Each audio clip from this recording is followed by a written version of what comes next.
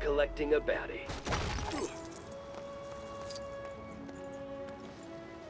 If you'd like to support short form content like this without me having to sell useless, ugly t shirts, please consider using the new YouTube feature Super Thanks, which is below where the arrow is pointing.